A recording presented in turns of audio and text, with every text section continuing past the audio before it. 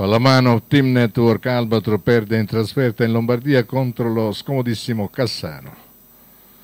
Una partita molto complicata, Cassano Magnago è una squadra molto ostica rispetto all'anno scorso ha migliorato la rosa e la Team Network Albatro nonostante il suo nuovo marcatore perde per 27 a 21 nella quinta giornata di ritorno della Serie A Gold. Le due squadre si affrontano a viso aperto con un primo tempo da dimenticare che pregiudica l'intera prestazione.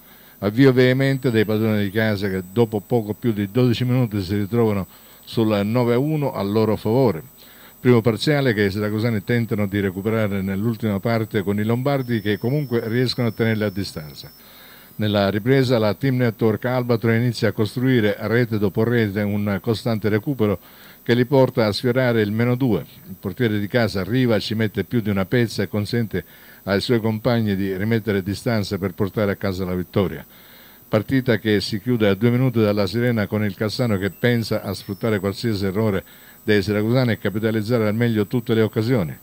Buona la prima per il neo arrivato Riccardo Gans, risultato alla fine il migliore marcatore tra gli uomini di Puccio Jung con cinque reti.